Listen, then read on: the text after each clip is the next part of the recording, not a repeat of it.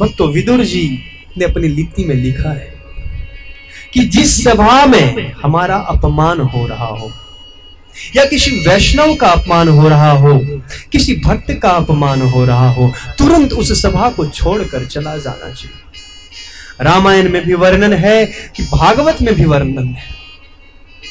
जब दक्ष प्रजापति ने शिव जी का अपमान किया, वैष्णव नाम यथा शंभु भोलेनाथ का अपमान किया उस समय सती ने ऐलान किया था कि यदि बस चले, यदि ताकत हो तो एक वैष्णव, एक भक्त का का अपमान करने वाले की जीवा खींच लेनी चाहिए।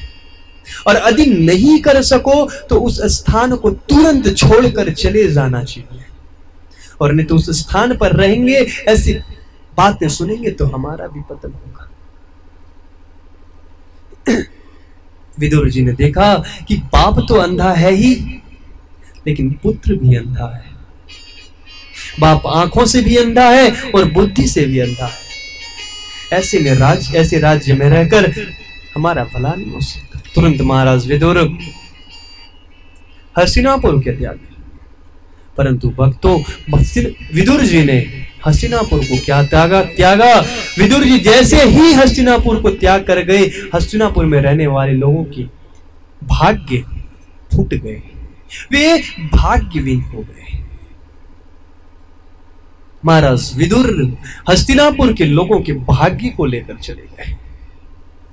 जिस दिन से महाराज विदुर जी ने उस हस्तिनापुर को छोड़ा है, उस दिन से हस्तिनापुर की उल्टी बुरी थी।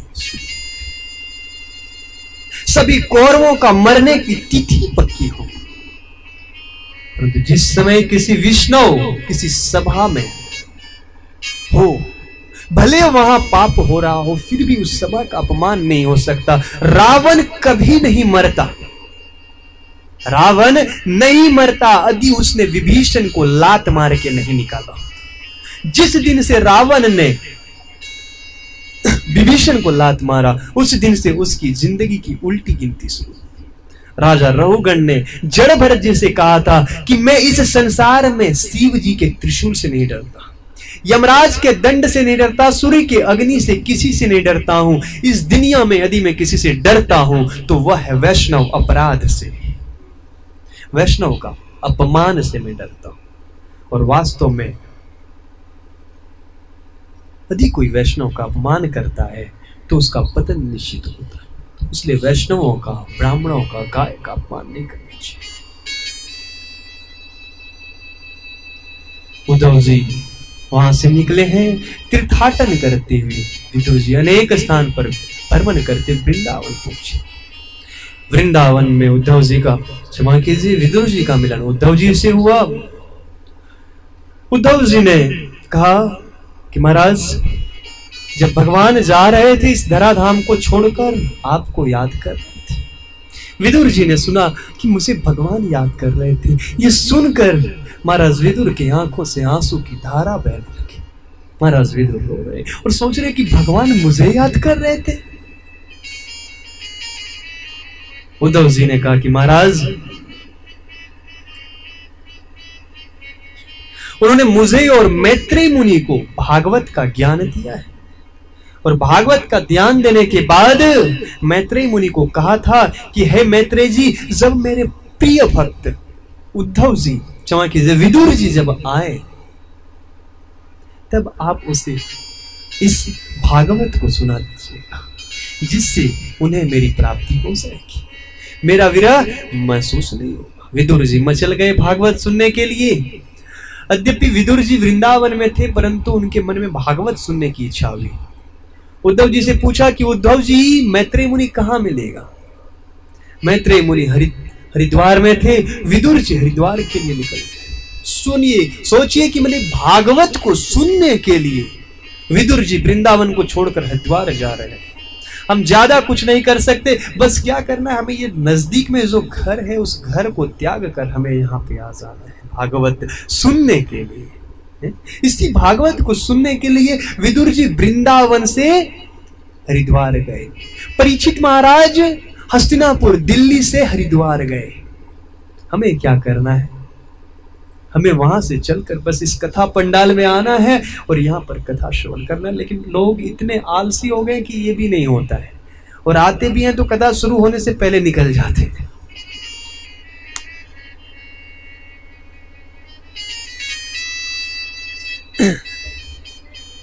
महाराज। विदुर जी, भगवान के परम भक्त थे और समझो धर्मराज, यमराज के ही अवतार है। मैत्रेय ऋषि, पराशर ऋषि के शिष्य हैं। कृष्ण के कृपा पात्र है। श्रोता और वक्ता दोनों उच्च श्रेणी पर स्थित हैं। कथा शुरू हुई है कहाँ कथा चल रही है? दूसरे दिन मैंने बताया, नेमी सारण्य में सुत गोस्वामी अट्ठासी हज़ार ऋषि मुनियों को कथा सुना रहे फिर सुखदेव जी गोस्वामी महाराज परीक्षित महाराज को हरिद्वार में कथा सुना रहे और आज मैत्री मुनि विदुर विदुर जी को हरिद्वार में भागवत कथा ये भागवत के श्रेष्ठ वक्ता और श्रोता बैठे हुए हैं। भागवत पर जिज्ञासा करते विदुर जी ने कहते हैं कि मैत्री मुनि, आप मुझे बताइए कि भगवान इस जगत का निर्माण जब किए, भगवान ने अपनी दृष्टि, अपने आँखों के इशारे से बहिरंगा शक्ति, माया को जब प्रकट किया और माया के तीन गुण सत्य रजस्व तमस को जब भगवान ने प्रकट किया, प्रकट हुए और इन गुणों के द्वारा ये भौतिक प्रकृति का निर्माण हुआ। इन गुणों के द्वारा, इन भौतिक प्रकृति का निर्माण हुआ। भगवान श्री कृष्ण ने, विष्णु ने इस संसार का निर्माण तो कर दिया, परंतु इसका निर्माण करने के बाद प्रजा की उत्पत्ति कैसे हुई? प्रजा की उत्पत्ति कैसे हुई? इस सृष्टि का संचार कैसे हुआ? ये सृष्टि कैसे चलने लगी? ये बता भक्तों, ये भागवत का विषय है, बहुत बड़ा विषय है। भागवत में दस विषय है। भागवत में दस तत्व का वर्णन है। यत्र सर्ग विसर्ग स्थान पोषणम पूतवया। मनवंतर विषाणु कथा निरोधो मुक्ति आस इस तत्व का वर्णन, दस तत्व का वर्णन भागवत में हुआ है। प्रथम, सर्ग। सर्ग का अर्थात होता है, भगवान के द्वारा बनाई गई सृष्टि, जिसका वर्णन दूसरे स्कंद में। दूसरा तत्व ब्रह्मा जी के द्वारा बनाई गई सृष्टि, जिसका वर्णन तीसरे एवं चौथे स्कंद में। तीसरा है स्थान। इस ब्रह्मांड में कौन सा स्थान किस जगत पे है, कौन से जीव रहते हैं, किस किस स्थान पर कौन से कौन से जीव रहते हैं, और वे क्या करते हैं, इसका वर्णन पाँचवें स्कंद में। भागवत के दूसरे स्कंद में सर्ग का वर्णन, तीसरे और चौथे में विसर्ग का वर्णन, भागवत के पाँचवें स्कंद में स्थानम तत्व का वर्णन। और छठा है पोषणम। श्रीमद भगवत श्रीमद भागवत के छठे स्कंद में पोषण तत्व का वर्णन हुआ है। इसे सुनकर आदमी अपने आत्मा का पोषण करता दिन में दो बार, तीन बार, चार बार हम भोजन करके अपने शरीर का तो पोषण कर लेते हैं, लेकिन आत्मा का भोजन कैसे किया जा सकता है, इसका वर्णन छठे स्कंद में। पांचवा तत्व है उतय। उतय कर्म बनसना श्रीमद भागवत के सातवें स्कंद में उति तत्व के अंतर्गत। इस संसार में कौन जीव कैसे कैसे कर्म करता है और सभी जीव को अपने अपने कर्म का फल मिलता है, इस तत्व का वर्णन भागवत के सतवें स्कंद में। प्रहलाद महाराज की कथा इस स्कंद, इस तत्व के अंदर आता है। आठवां, भागवत के आठवें स्कंद में मनवंतर कथा का वर्णन हुआ है, जहाँ पर गजेंद्र समुद्र मंथन भागवत भगवान वामन और मत्स्य अवतार की कथा। तीसरा, स्थानम तत्व के अंदर किम पुरुष वर्णन का वर्णन? उसी तत्व के अंतर्गत हिरण्य कशपु हिरण्य, हिरण्याक्ष और हिरण्य कशपु राजसीय सभा का वर्णन, मनवंतर की कथा, गजेंद्र समुद्र मंथन, भगवान भगवान वामन देव और मत्स्य अवतार की कथा। नरक लोक का वर्णन, पोषण तत्व के अंतर, अजामिल कथा का वर्णन, वित्रासुर की कथा, चित्रकेतु महाराज की कथा और मन मन तत्व के अंदर नवम स्कंद में ईश ग्रह ईशानुग्रह। ईशा अनुग्रह हमारे इतिहास में सोमवन, सोमवंश और सूर्य वंश में अनेक राजा हुए। उन राजाओं के ऊपर भगवान की किस प्रकार से कृपा हुई? इन तत्वों का वर्णन। इस प्रकार दस तत्व का वर्णन भागवत में किया गया है। तो भागवत का ये बहुत सुंदर विषय है कि किस प्रकार प्रजा की उत्पत्ति हुई। भगवान नारायण जो कारण समुद्र में विहार करते हैं, कारण समुद्र में शयन करते हैं, और कारण समुद्र में शयन करने के कारण इस भगवान का नाम हुआ कारणोदक शाही विष्णु। और कारण समुद्र में शयन करने वाले भगवान विष्णु सांस छोड़ते हैं तो उनके सांस से करोड़ों करोड़ों ब्रह्मांड प्रकट होता है। आप विचार कीजिए कि भगवान विष्णु की सांस करोड़ों करोड़ों ब्रह्मांड को प्रकट करता है तो ये भगवान कैसे होंगे? भगवान विभु है भक्त तो विशाल है। और शास्त्रों में चैतन्य महाप्रभु ने तो कह दिया कि भगवान अचिंत है। भगवान ऐसे हैं कि हमारे चिंतन में भी नहीं आ सकते। तो भगवान कितने बड़े हैं? तो बोल अचिंत उनकी चिंता भी नहीं कर सकते। अचिंत भेदा भेद फिर भी श्रद्धा हो प्रेम और भक्ति हो विश्वास है तो आप एक अंदाज़ा लगा सकते हैं। आइए, भगवान कितने महान हैं, कितने बड़े हैं, एक झलक में आपको तो भगवान को यदि पहचानना हो, परंतु भगवान को हम पहचानेंगे कैसे? भगवान तो देवघर में रहते नहीं, विलासी टाउन में रहते इधर आपके लोकल।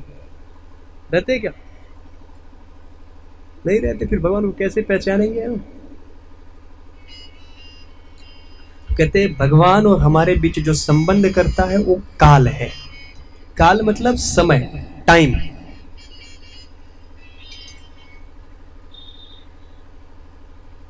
और समय की गणना कैसे की जाती है?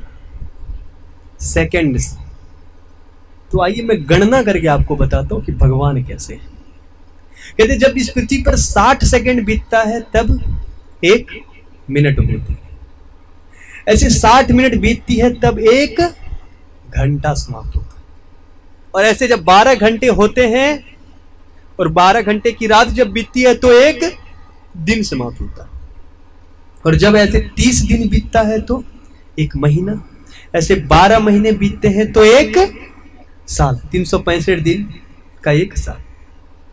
तो ऐसे चार लाख बत्तीस हज़ार वर्ष जब बीतते हैं, तब इस कलयुग की अवधि समाप्त होती इस कलयुग की अवधि कितना है? Four lakh thirty two thousand years okay और अभी कलयुग का कुछ फाइव पाँच हज़ार, पाँच हजारवा साल समथिंग कुछ चल रहा है।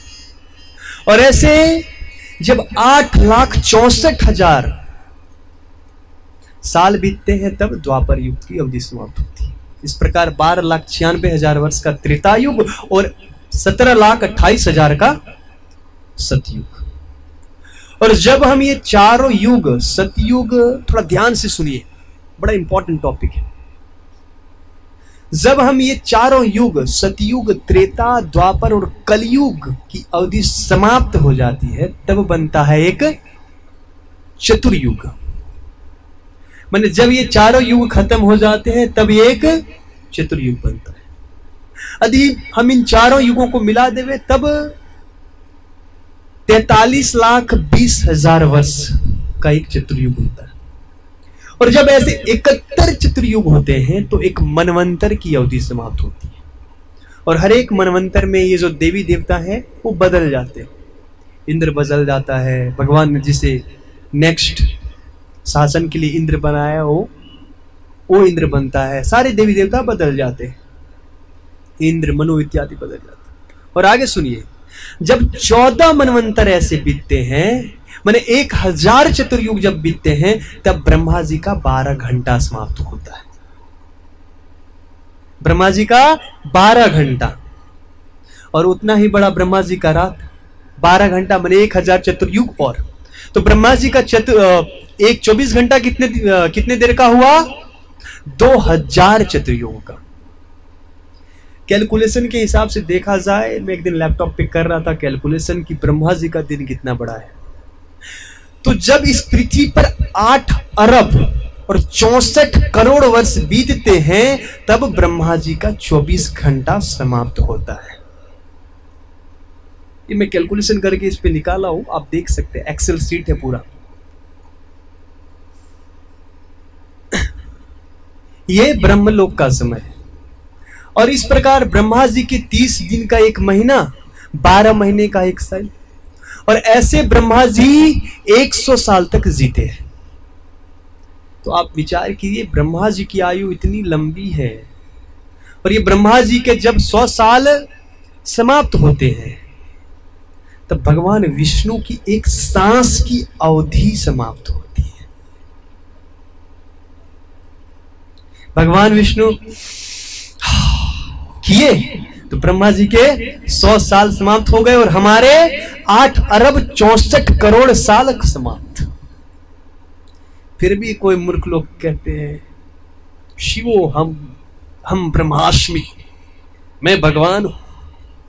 कितने मूर्ख लोग हैं। ब्रह्मांड के सामने क्या तुलना, इनकी भगवान के सामने क्या तुलना? अरे, भगवान छोड़ो, देवी देवता और ब्रह्मा के सामने इनकी क्या तुलना? या हम ब्रह्मास्मि हम ईश्वर क्या ईश्वर, कहा ईश्वर और कहा ये संसार का तुच्छ व्यक्ति? आत्मा आत्मा है भक्तों, और परमात्मा परमात्मा है। आत्मा अनु है, और परमात्मा हणु है। आत्मा प्रतंत्र है, और परमात्मा स्वतंत्र है। आत्मा को अनेक बंधन लगते हैं, परमात्मा को कोई बंधन नहीं लगता। आत्मा और परमात्मा में अनेक अंतर है। कोई थर्ड क्लास का मूर्ख ही होगा, जो आत्मा और परमात्मा को एक बताता होगा। देखिए, ये बात सच है कि परमात्मा का अंश ही आत्मा है। वही गुण पर, जो गुण परमात्मा में है, वही गुण आत्मा में है। लेकिन अंतर है, अंतर को समझना होगा। जैसे समुद्र को समुद्र के सारे जल में जो स्वाद है, जो गुण है, वही गुण उसके एक बूंद जल में भी है। एक लोटे जल में भी उतना ही गुण है, वही खारापन। लेकिन क्या समुद्र की तुलना उससे निकाली हुई एक लोटे के पानी में हम कर सकते हैं कि? कि ये ये समुद्र है, एक लोटा में पानी रख लिया, एक मग में बोलते ये समुद्र है। क्यों भाई? बोलिए, समुद्र का अंश है, इसलिए ये समुद्र। ऐसा हम बोल सकते नहीं बोल सकते। क्यों? क्योंकि अंतर है। अंतर क्या है? स्थान का अंतर है साइज़ का अंतर है। उस लोटे से आप समुद्र नहीं बना सकते। उस लोटे से आप समुद्र बना सकते हैं नहीं बना सकते लेकिन उस समुद्र से एक लो, एक लोटे का जल ज़रूर बन सकता है। समुद्र में बड़े बड़े नाव जलयान तैरते हैं, उस लोटे में नहीं तैरते। यही अंतर है, आत्मा में और परमात्मा में। परमात्मा अणु है, आत्मा अणु है। परमात्मा समुद्र है और आत्मा एक बूंद जल है। आत्मा कभी परमात्मा नहीं बन सकता, लेकिन शिला प्रभुपात कहते हैं कि आत्मा कभी परमात्मा नहीं बन सकता, परंतु यदि वह कृष्ण का नाम ले, कृष्ण की कथा सुने, भजन भक्ति करे तो वह महात्मा ज़रूर बन सकता है। तो भक्तों, भगवान जब एक सांस लेते हैं तो 100 साल ब्रह्मा जी के समाप्त होते हैं। और अब सोचिए, जब भगवान की एक सांस के सामने ब्रह्मा जी का 100 साल तो हमारी मतलब कुछ चीटी विटी भी हम लोग नहीं होंगे उनके सामने। और जब ऐसे भगवान कारनौदक शाही विष्णु सांस छोड़ते हैं तो उनके रोम कूप से करोड़ों करोड़ों ब्रह्मांड प्रकट होता है।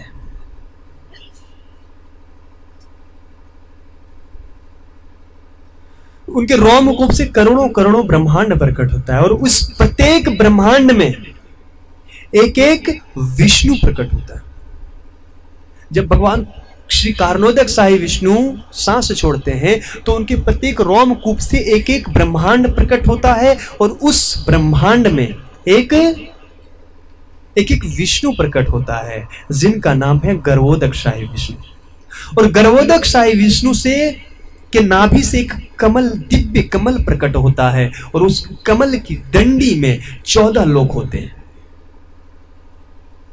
सबसे ऊपर का जो लोक है उसका नाम है ब्रह्मलोक और सबसे बीच में सातवां लोक है पृथ्वी। पृथ्वी के नीचे अतल अतल वितल सूतल तलातल रसातल पता, पताल और महाताल। पृथ्वी के ऊपर जनलोक मरलोक तपलोक सिद्धलोक ब्रह्मलोक पितृलोक स्वर्गलोक। ऐसे कुल मिलाकर चौदह लोग और ये चौदह लोग उस कमल की डंडी में फिट किए जाते हैं, फिट रहते हो।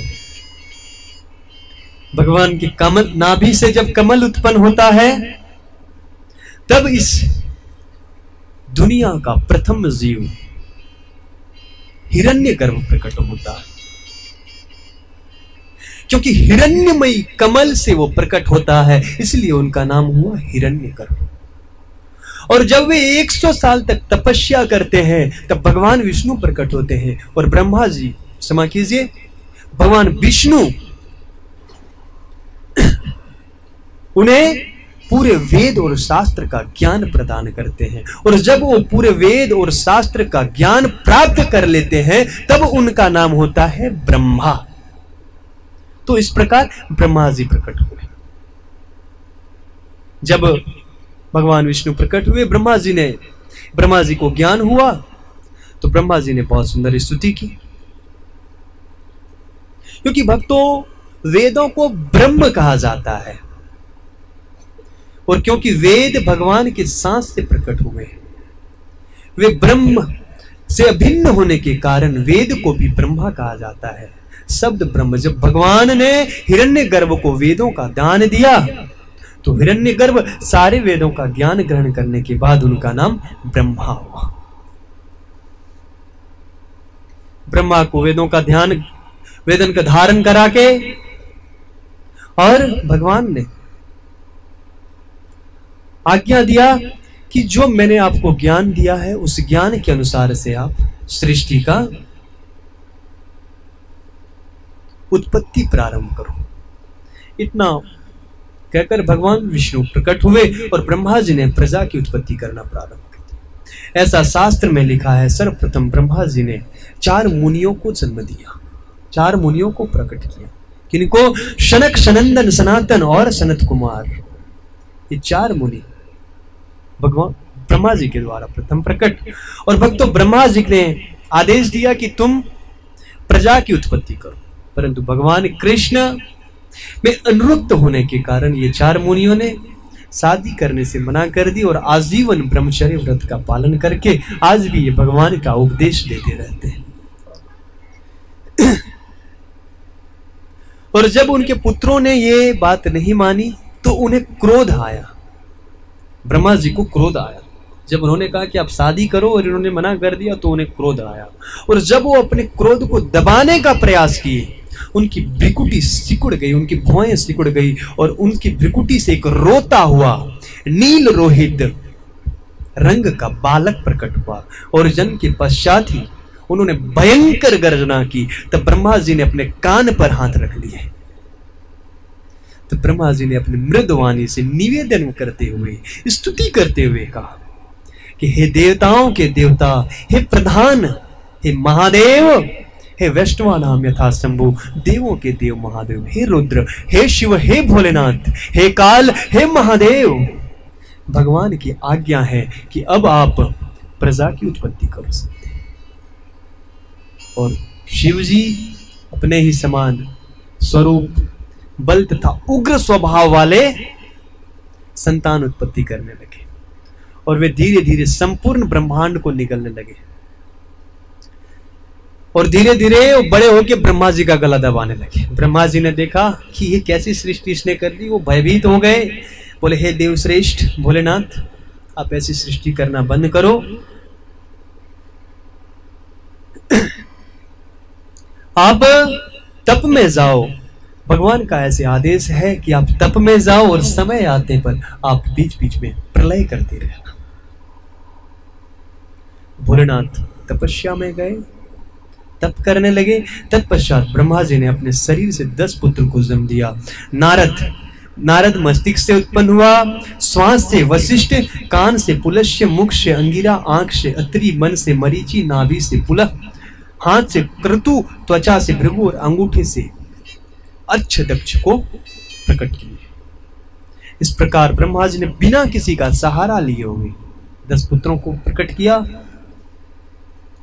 अब ब्रह्मा जी के मन में सोचने लगे कि मैंने सर्वत्र फैले रहने पर भी जनसंख्या अभी भी पर्याप्त नहीं है।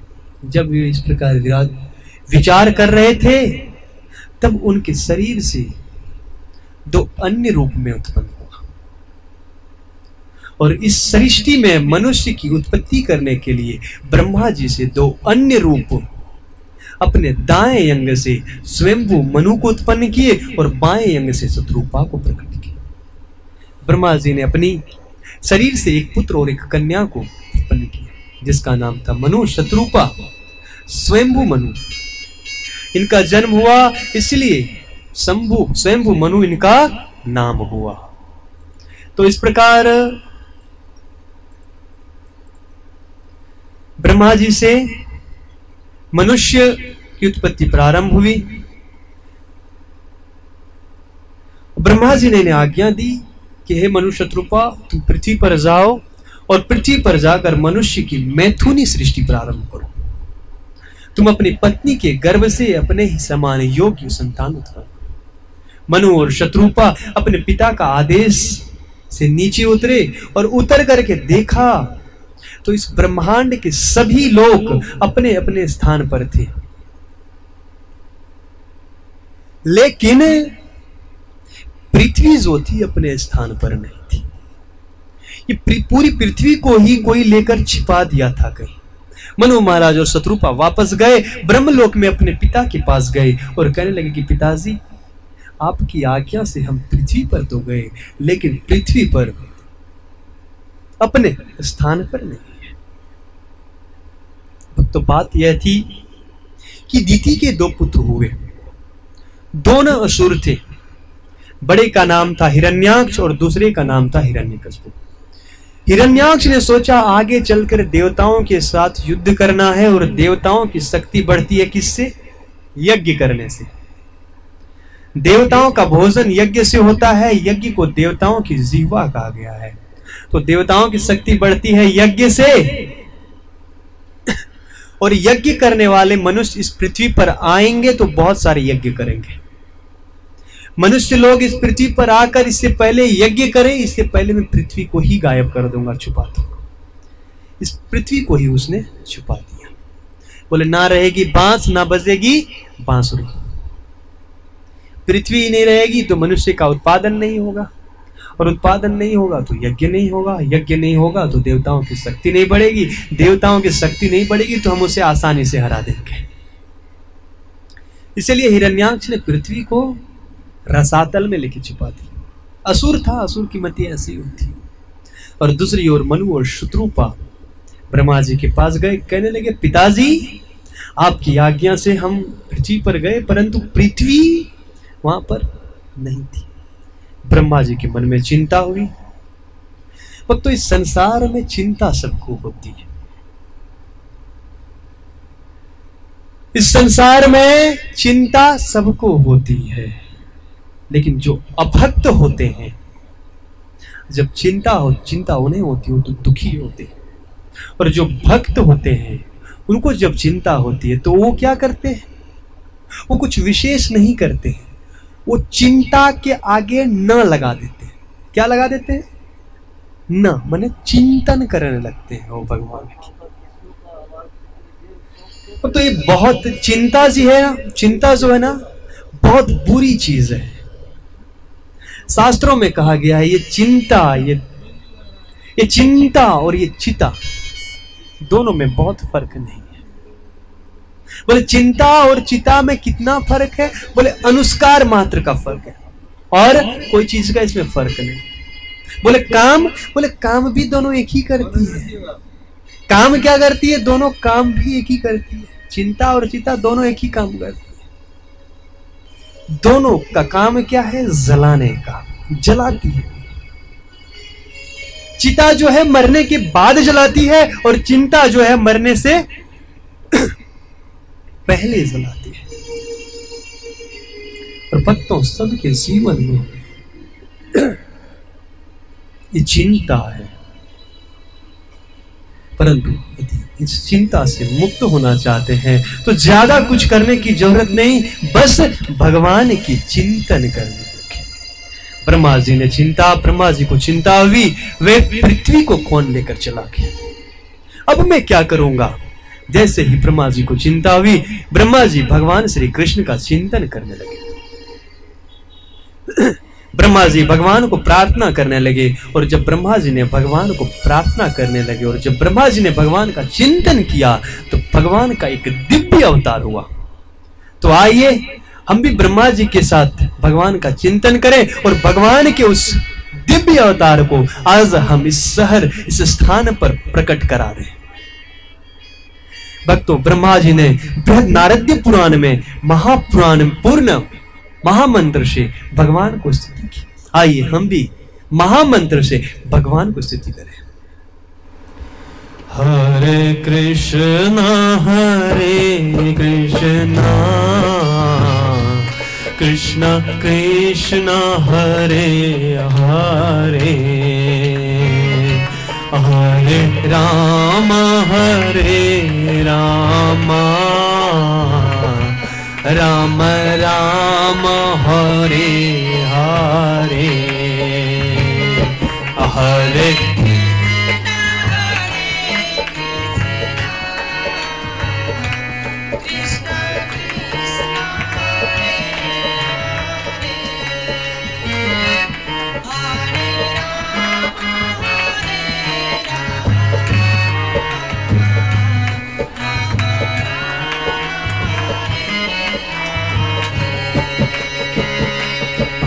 हरे कृष्ण हरे कृष्ण।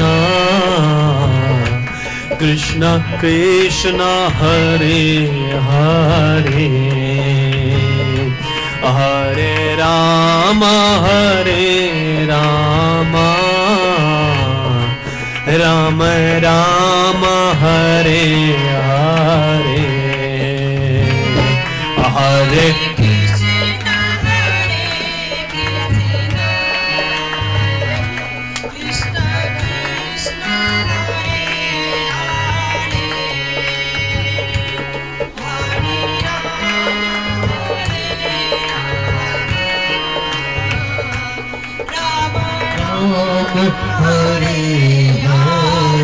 सब लोग चिंतन कीजिए ब्रह्मा जी के साथ।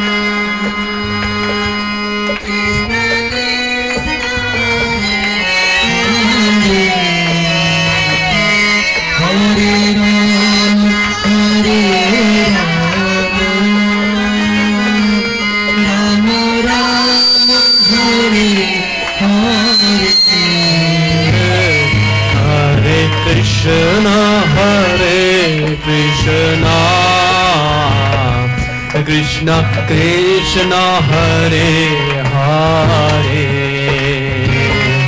हरे राम हरे राम। राम राम, हरे हरे। हरे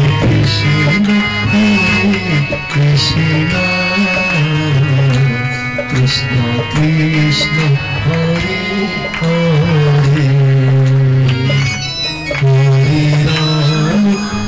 Hare Rama Rama Ram Hare Hare हरे कृष्णा हरे कृष्णा कृष्णा कृष्णा हरे हरे हरे राम हरे राम राम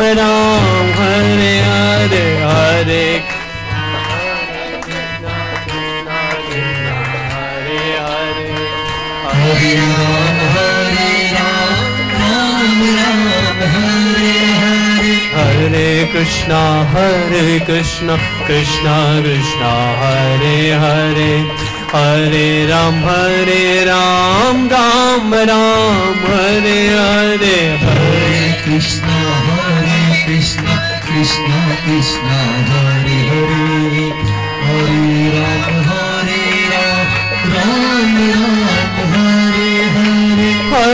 कृष्णा हरे कृष्णा कृष्णा कृष्णा हरे हरे हरे राम हरे राम राम राम हरे हरे कृष्णा हरे कृष्णा कृष्णा कृष्णा हरे हरे हरे राम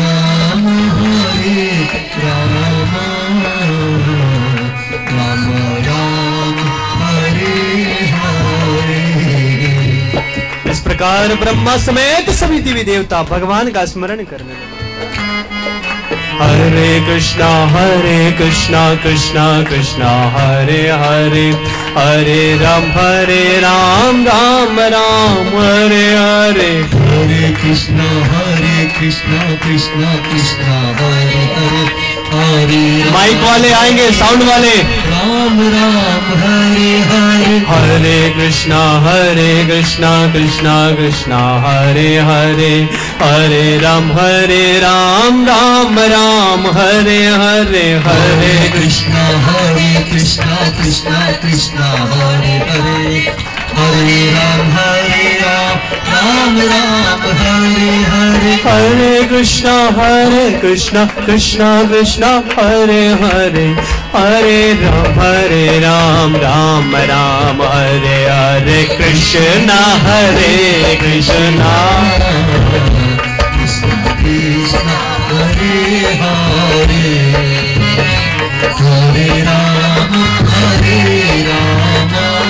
तबले का तबले का ऊपर। तबला ऊपर। इस संसार में जब जब भक्त भगवान को पुकारते हैं, तब तब भगवान अवतार धारण करके अपने भक्त की रक्षा करने के लिए इस पृथ्वी पर प्रकट हो जाते हैं। ब्रह्मा जी ने चिंतन किया, जैसे ही ब्रह्मा जी ने भगवान का चिंतन किया, तुरंत ब्रह्मा जी को छीक आई। और छींक आने से ब्रह्मा जी को एक अंगुष्ठ जितना छिद्र प्रकट हुआ। और छिद्र धीरे धीरे बड़ा होने लगा। धीरे धीरे उस छिद्र ने बहुत विशाल स्वरूप धारण कर लिया। हाथी का समान वो छिद्र धीरे धीरे विशाल हुआ। धीरे धीरे पर्वत जैसा विशाल बन गया। ब्रह्मा समेत सभी देवी देवता समझ गए कि आज साक्षात भगवान वरा अवतार धारण कर लिए। धीरे धीरे भगवान वरा को, वरा आकाश को छूने लगे और ब्रह्मा समेत सभी देवी देवता भगवान विष्णु के इस वराह अवतार की स्तुति करने लगे। हरे कृष्णा हरे कृष्णा कृष्णा कृष्णा, हरे हरे। हरे राम हरे राम राम राम। हरे हरे हरे कृष्णा हरे कृष्णा कृष्णा कृष्णा, हरे हरे। हरे राम हरे राम राम राम, हरे हरे। हरे कृष्णा हरे हरे राम हरे राम राम राम हरे हरे कृष्णा हरे कृष्णा कृष्णा कृष्णा हरे हरे हरे राम हरे राम राम राम हरे हरे हरे कृष्ण हरे कृष्ण कृष्ण कृष्ण हरे हरे हरे राम हरे राम।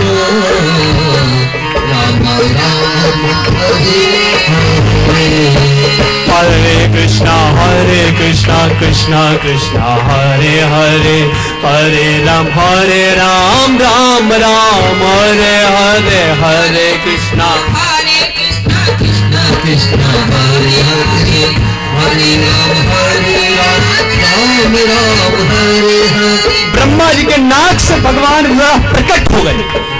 अनेकों दिव्य मंत्र द्वारा ब्रह्मा समेत समस्त देवी देवता भगवान वरा की स्तुति करने लगे। और उस समय भगवान वरा गर्जना करने लगे। भगवान वरा की गर्जना से तीनों लोग कांपने लगा। और उस समय भगवान वरा जैसे ही अपनी पूछ पकड़ करके आकाश में उछले, भगवान वरा के गर्दन के बालों से आकाश के बादल तितर बितर हो गए।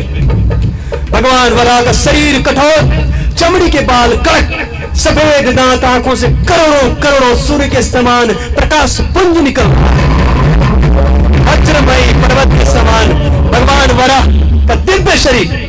और उस समय भगवान वरा अपनी पत्नी वसुंधरा देवी पृथ्वी का और उस समय भगवान वरा अपने पत्नी वसुंधरा के उद्धार के लिए, उस पृथ्वी के रक्षा के लिए जैसे ही समुद्र में कूदे, समुद्र दोनों भागों में बट गया।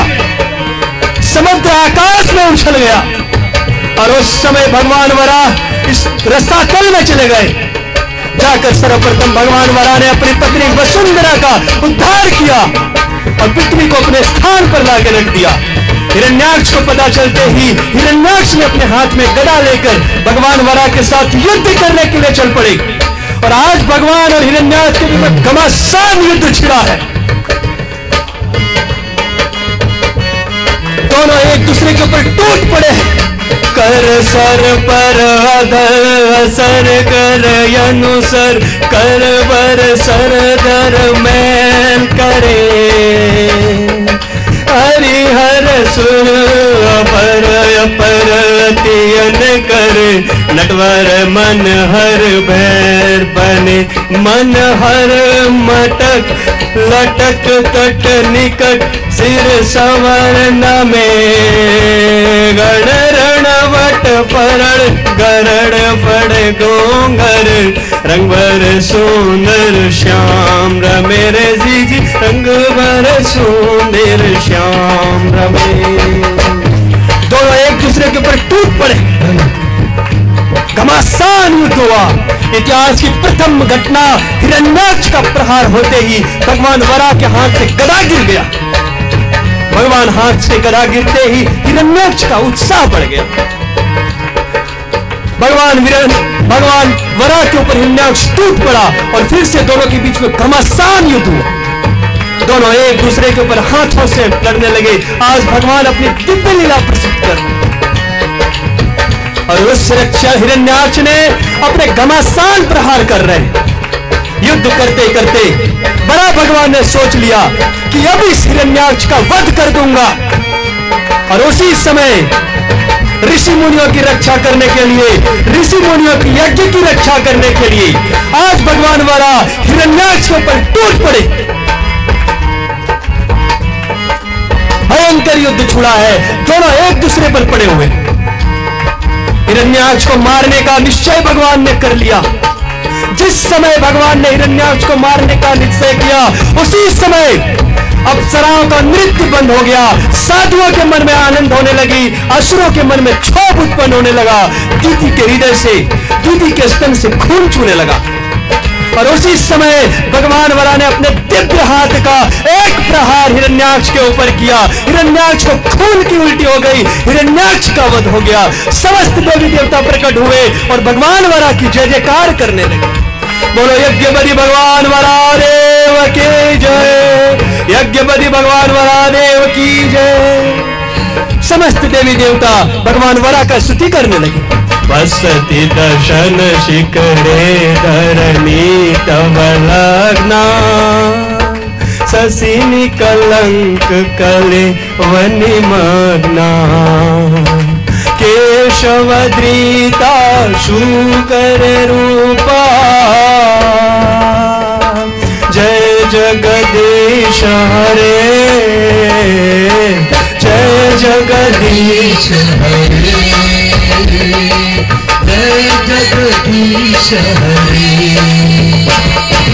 जगदीश दशन शिखरे धरणी तव शशि कलंक कले वन मग्ना केशवद्रीता शूकर रूपा। जय जगदीश हरे। जय जगदीश हरे जय जगदीश हरे। जय केशवद्रीता शूकर रूपा। जय जगदीश हरे। जय जगदीश हरे। जय जगदीश हरे। भक्तों आज भगवान विष्णु, आज भगवान विष्णु ऋषि मुनियों की बुझी हुई अग्नि को प्रज्वलित करने के लिए, ब्रह्मा जी को शांति देने के लिए मनुष्य को उत्पत्ति करने के लिए और अपनी वसुंधरा पत्नी, अपनी देवी वसुंधरा का उद्धार करने के लिए वह वराह अवतार धारण कर सब लोग जय जयकार कीजिए। केशवद्रीता सुकर रूपा, केशवद्रीता सुकर रूपा, केशव शुगर रूपा। जय जगदीश हरे। जय जगदीश हरे। जय जगदीश हरे।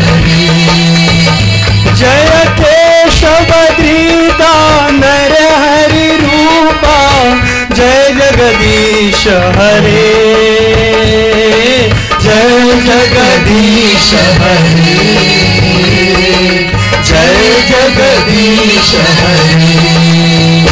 जय केशवद्रीता सुकर रूपा। जय जगदीश हरे। जय जगदीश हरे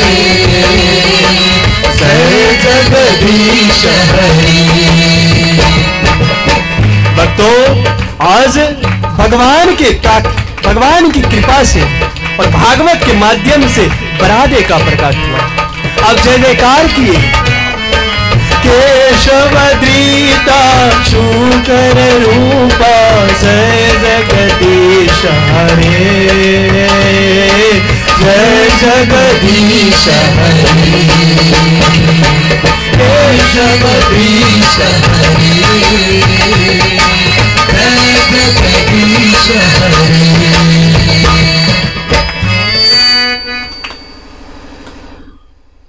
तो इस प्रकार भगवान वरादे का प्रकट आज भागवत जी के माध्यम से हमारा हो बोली, यज्ञपति भगवान वरादेव की जय। श्रील प्रभुपाद की जय।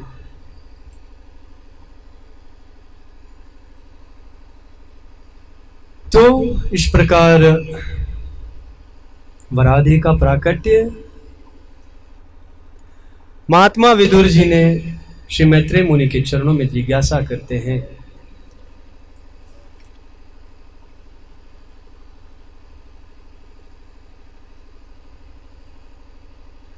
कि महाराज, हे मैत्रेय जी भगवान वरादि प्रकट हुए, पृथ्वी का उद्धार किया। और मनु और शत्रुपा इस पृथ्वी पर आए। मनु और शत्रुपा पृथ्वी पर गए, और मनु और शत्रुपा से जो सृष्टि हुई, वो मनुष्य की सृष्टि। इस संसार में जितने भी मनुष्य हैं, ये सारे मनुष्य एकमात्र मनु महाराज के वंशज हैं। मनु से मनुष्य का जन्म हुआ, इसलिए तो कहते हैं मनुष्य। या संस्कृत में मानुष कहते हैं। ज का अर्थ होता है जन्म। मनु से जन्म होने के कारण नाम मानुष कहा जाता है। तो ऐसे परमात्मा धर्मात्मा महाराज मनु जिसने पाँच संतान को जन्म दिया इस पृथ्वी पर सर्वप्रथम पाँच मनुष्य जन्म हुए मैथुन सृष्टि के द्वारा। जिस पाँच संतानों में तीन कन्या और दो पुत्र थे। तीन क, तीन कन्या आकुति प्रसूति और देवहूति। दो पुत्र का नाम उत्तानपाद और प्रियव्रत। राजा उत्तानपाद जिसकी दो पत्नी सुनीति एवं सुनिधि सुनिधि के गर्भ में ध्रुव का जन्म ध्रुव महाराज का कथा आप सब जानते हैं कि किस प्रकार भगवान की भक्ति के लिए ध्रुव महाराज पाँच वर्ष के आयु में जंगल में चले गए। नारद मुनि की कृपा हुई। और ध्रुव महाराज को पाँच वर्ष में भगवान की प्राप्ति। ध्रुव महाराज अपने स्तुति में कहते हैं कि प्रभु आपकी भक्ति जो है, मादक है। मादक मतलब नशीली, नशा। कहते हैं। इस दुनिया में लोग अन्य अन्य प्रकार के नशा करते हैं। शराब का नशा अफीम का नशा, गांजा ड्रग्स लेकिन सबसे पावरफुल नशा क्या है मालूम है आपको? शराब का नशा एक से दो घंटे रहती है। ड्रग्स का नशा एक दो दिन रहती है। उससे पावरफुल चार दिन, पाँच दिन, छह दिन, सात दिन। बस उतर जाती है नशा। जब तक है तब तक ही फील होता है कि हम दुनिया के राजा हैं। और भगवान की नशा एक बार किसी पे चढ़ गई तो पूरे जीवन भर रहती है वो नशा और फिर ये तुच्छ नशा जो हम करते हैं ना, पान, पुड़िया, सिगरेट, दारू, तंबाकू, सब खत्म हो जाता है। उस नशा के सामने इसकी कोई तुलना ही नहीं। तो इस प्रकार ध्रुव महाराज ध्रुव के पुत्र हुए वत्सर और उन्हीं की परंपरा में आगे राजा अंग का जन्म हुआ। राजा अंग से राजा वैन हुए और वैन से भगवान पृथु का जन्म हुआ, जिन्होंने पृथ्वी का दोहन किया। निन्यानवे अश्वमेघ यज्ञ कर रहे, कर चुके थे। सौवा अश्वमेघ करने जा रहे थे। इंद्र की कुदृष्टि हुई। इंद्र यज्ञ में विघ्न डालने के लिए आया। इंद्र को ही बाँध कर मंत्र से अभिमंत्रित करके हवन में डालने जा रहे थे। भगवान प्रकट हो गए। पृथु महाराज को रोक दिया। कि तुम मुझे प्रसन्न करने के लिए यज्ञ कर रहे हो, मैं तुम्हारे सामने। इसी मनु महाराज जिनका नाम था, इसी मनु महाराज के नाम पुत्र जिनका नाम था प्रियव्रत प्रिय व्रत के पुत्र हुए अग्निग्रह अग्निग्रह के पुत्र हुए नाभि नाभि की पत्नी मेरु देवी जिससे भगवान ऋषभदेव के देव का प्राकट। भगवान ऋषभ देव के सौ पुत्र, जिन सौ पुत्र में इक्यासी कर्मकांडी ब्राह्मण, नौ पुत्र, नौ नौ दीप दीपों के राजा, नौ अन्य पुत्र नव योगेश्वर के रूप में विख्यात हुए, कवि, हरि, अंतरिक्ष प्रबुद्ध, पिपलायन अविरुद्र ध्रुमिल चमस्वर करभाजन, इस प्रकार निन्यानवे पुत्र हुए और सबसे ज्येष्ठ पुत्र का नाम था भरत, जो भरत इस अजनाब वर्ष का राजा हुआ। पूरे भूमंडल के राजा हुए और इतना सुंदर शासन किया, इतना सुंदर शासन किया कि प्रजा ने अपने देश का नाम अपने राजा के नाम पर रख दिया। उस दिन से अजनाब वर्ष का नाम हो गया भारत, जिस भारत भूमि में हम रहते हैं। इस प्रकार से इस भूमि का इतिहास। तो इस प्रकार मनु महाराज के दो पुत्र, तीन कन्या, सर्वप्रथम मनु महाराज की कन्या थी, जिनका नाम था देवहूति।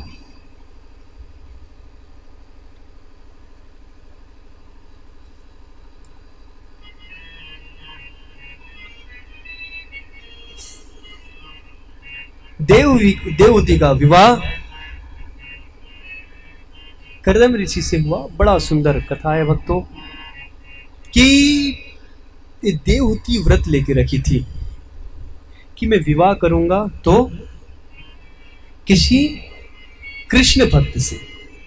भगवान श्री कृष्ण के भक्ति में दिन रहती थी। जन्म से ही भक्ति संस्कार मिले हुए थे। जब उनके पिता कहे, बेटा, तुम्हें क्या चाहिए? क्योंकि उनके पिता पूरे ब्रह्मांड के राजा थे, मनु महाराज। तब देवी देवती कहती कि, पिताजी, एक ही इच्छा है, मैं जीवन भर कृष्ण की भक्ति कर, करती विवाह की उम्र हो गई, तब देवहूति ने अपने पिता से एक ही निवेदन किया कि, पिताजी, आपको यदि मेरा विवाह करना हो तो मुझे कोई धनी पति के साथ विवाह नहीं करना। मुझे धनी पति नहीं चाहिए। मुझे सुंदर पति नहीं चाहिए। मुझे बस मेरी एक ही इच्छा है कि मेरा होने वाला पति कृष्ण का परम शुद्ध भक्त ऐसा ही हुआ। और इधर दूसरी ओर ब्रह्मा जी से करदम ऋषि का जन्म हुआ। अभी आपने थोड़ी देर पहले सुना। करदम ऋषि का प्राकट्य हुआ। ब्रह्मा जी ने अपने पुत्र करदम ऋषि को आदेश दिया कि तुम जाओ विवाह करो, संतान उत्पत्ति करो। तब करदम ऋषि ने कहा, आज बिना कुछ कहे हुए वो तपस्या के चले चले गए।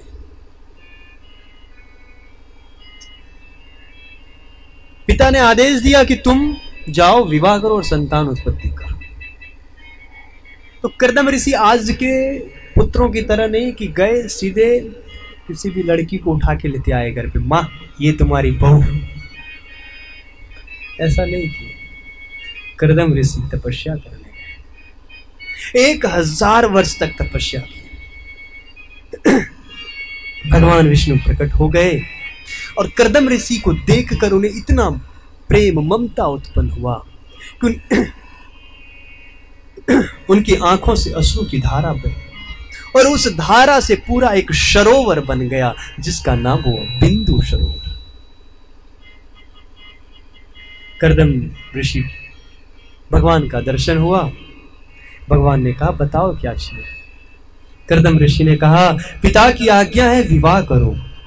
पिता की आज्ञा ठुकरा नहीं सकता, इसलिए मेरा विवाह हो, इसमें कोई तकलीफ़ नहीं। परंतु प्रभु, आपके चरणों में एक ही प्रार्थना है।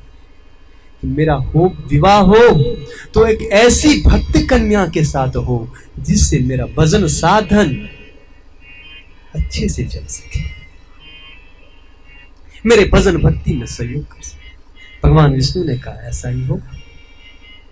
बोले, आज से ठीक तीन दिन के बाद ब्रह्मांड के स्वामी, ब्रह्मांड के राजा मनु महाराज तुम्हारे पास आएँगे और अपनी पुत्री का हाथ तुम्हारे हाथ।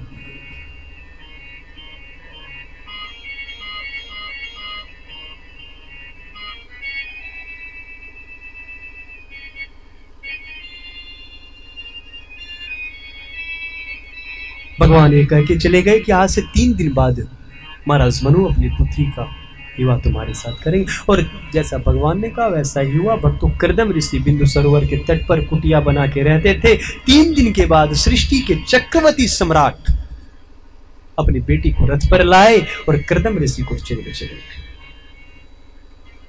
ये नहीं देखा कि तुम्हारे पास कितनी गाड़ियाँ हैं?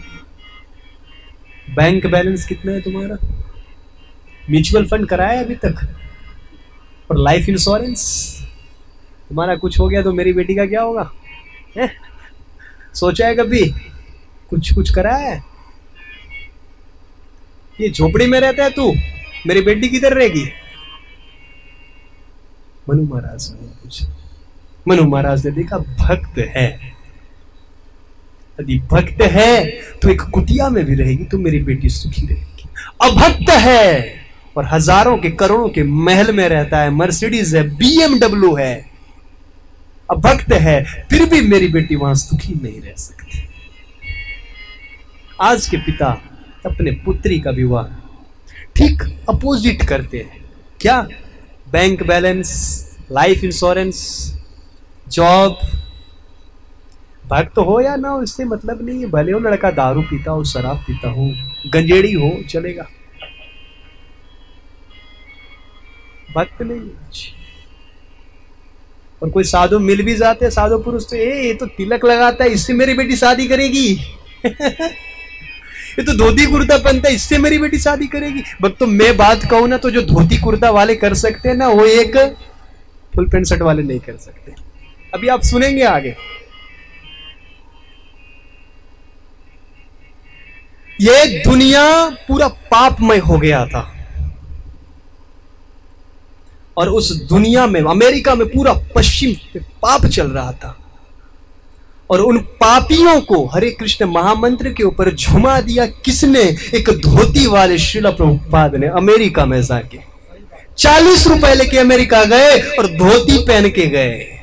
एक चुटिया रखी और झुमा दी अमेरिका के लोगों के। आज हमसे ज़्यादा बड़े भक्त हो। ये भारत गुलाम था। इस गुलाम को आज़ाद कराया किसने? एक धोती वाले गांधी जी ने। एक धोती से बता तो जो धोती वाले सुख दे सकते हैं ना, अपनी पत्नी को एक फुल पैंट शर्ट वाले नहीं दे सकते। याद रखो। अरे, एक साल में तीन तीन यात्राएँ। वृंदावन जाओ, मायापुर जाओ, वृंदा अयोध्या जाओ, बॉम्बे जाना है, बॉम्बे जाओ। फुल पैंट शर्ट वाले लेके जाते आप बताओ, लेके जाते आपकी पति आपको। एक साल में कितने बार घुमाने के लिए लेके जाते हैं? वो मुश्किल से एक दो बार, वो भी बहुत कच कच करके नहीं नहीं जी, चलना है जी, चलना है जी, चलना है जी। और हम तो ज़बरदस्ती लेके जाते चलो वृंदावन चलना है, चलो मायापुर चलना है? ये धोती वाला जितना सुख दे सकता है ना, उतना एक फुल पेंट शर्ट वाला नहीं दे सकता। और नहीं तो कभी आगे देखिए हमारी ज़िंदगी में। कि कितना सुखी है। भगवान की कृपा है, भगवान की भक्ति कर रहे हैं, उनका आशीर्वाद आज पति पत्नी में कचकच चल रही है, लड़ाई चल रहा है, झगड़ा चल रहा है। एक भक्त की ज़िंदगी में जाके देखिए, दोनों मिल के कृष्ण की सेवा चल रहे बिंदास ज़िंदगी चल रही है। टेंशन फ्री अभी देखिए आप, एक धोती वाला क्या करता है? एक तिलक वाला क्या करता है, आप देखिए। हम अपनी बेटी का विवाह एक धोती तिलक वाले के साथ नहीं करना चाहते। क्यों? अरे ये तो हरे बोल। हरे कृष्णा। ऑपरेटर जहाँ का भी आ जाए। ऑपरेटर हम सोचते हैं ये यार ये धोती कुर्ते में क्या क्या क्या कर क्या लेगा ये? बिल्कुल ढीला है। कभी कभी कुछ लोग सोचते हैं हम जब धोती कुर्ता में एक ट्रेन में या फिर फ़्लाइट में जाते तो सोचते हमारे मतलब वो सोचते नहीं है कि क्या है? क्या धोती कुर्ता पहन के फ़्लाइट में बैठा हुआ है? बड़ा उसे हीन दृष्टि सोचते लेकिन भक्तों, एक धोती कुर्ता वाला जो कर सकता है ना, एक फुल पेंट शर्ट वाला नहीं कर सकता।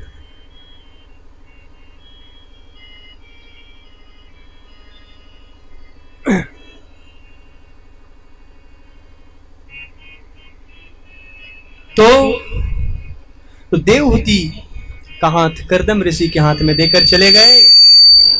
ये दोनों का विवाह कर दिया। भक्त तो विचार करो कि मनु महाराज अपने बेटी का विवाह इनसे क्यों करें?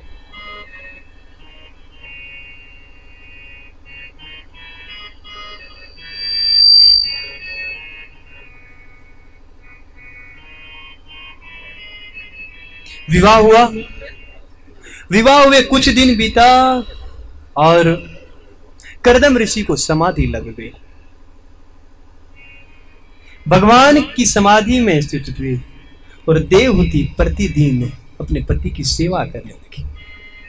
और समाधि एक दो दिन की नहीं लगी, कितने दिनों की लगी? बारह वर्षों की समाधि लग करदम ऋषि समाधि में बैठे हैं, देवती रोज उनकी सेवा कर बोले, जो व्यक्ति समाधि में बैठा, उसे की क्या सेवा? तब संतगण कहते, पति, यदि धर्म कार्य में लगा हो तो उसे डिस्टर्ब ना करना ही सेवा है। तो जी चलिए मायके चलते हैं। समाधि में पति मायके लेके जाना है।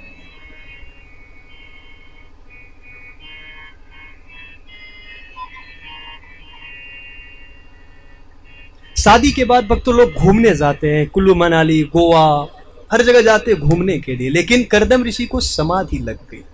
और देखिए, इसी समाधि के कारण आगे चलकर इन्हें एक दिव्य पुत्र की प्राप्ति होगी। बारह वर्षों के बाद जब करदम ऋषि की आँखें खुली तो हृदय में बहुत कष्ट हुआ। बोले, जिस पत्नी का विवाह करके मैं लाया था और जब विवाह करके आई तो इतनी सुंदर थी मेरी सेवा कर करके इनका शरीर सूख गया। लेकिन करदम ऋषि भी कम नहीं थे भक्तों। करदम ऋषि भी कम नहीं थे।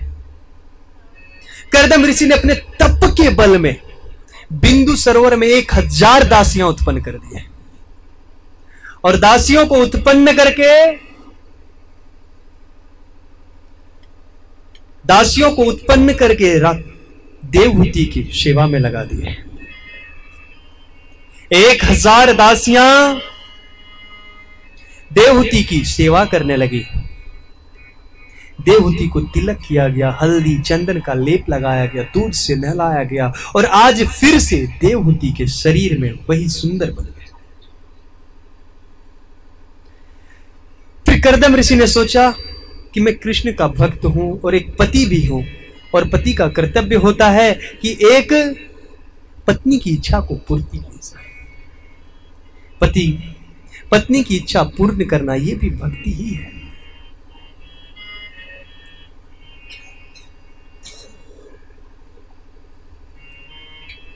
आज के पतियों के लिए एक छोटा सा संदेश। पति लोग ज़्यादा यहाँ आते नहीं है माता जी लोग ही ज़्यादा आती हैं। तो आप अपने पत्नी का ध्यान रखो। ऐसा अक्सर हमेशा नहीं होता कि सिर्फ़ माता जी लोग ही गलत होते हैं। कभी कभी प्रभु जी पति लोग भी गलत होते हैं। उनका ध्यान रखना चाहिए, पत्नी को सम्मान करना चाहिए। आप उन्हें दूसरे के घर से लाए हैं। लोग कभी कभी लाकर उन्हें बिना पैसे की नौकरानी समझते, फ्री वाला आ गया। निर्धन हो गए। लेकिन ऐसा नहीं है। अब ज़्यादा कुछ ना कर सको का जिस भाव से उसके पत्नी उसे इज़्ज़त कर रहे, उसे, उसी भाव से वो इज़्ज़त दे। और नहीं, कुछ तो कम से कम एक साड़ी तो दिला ही सकते। दिलाना ही चाहिए, घुमाने भी लेके जाना चाहिए। समाज वाले स्त्रियों के ऊपर दोषारोपण करते और पुरुषों को भी ये ज्ञान होना चाहिए कि हमारा जन्म भी एक स्त्री से ही हुआ है। लोग कहते हैं कि स्त्री अपवित्र है, पवित्र है, ये नहीं करना चाहिए, वो नहीं करना चाहिए। तुम जिस स्त्री से प्रकट हुए वो स्त्री अपवित्र है और तुम पवित्र हो। ये कैसी बात है भाई? ये बहुत गलत बात है। आज के ससुर चाहते हैं कि मेरी बेटी जिस घर में जाए, वहाँ पे रानी बन के रहे और मेरी बहू जो आए, वो यहाँ दासी बनकर रहे। यही मान्यता हो गई है। ये बहुत गलत धारणा है। बहुत बड़ा पाप है।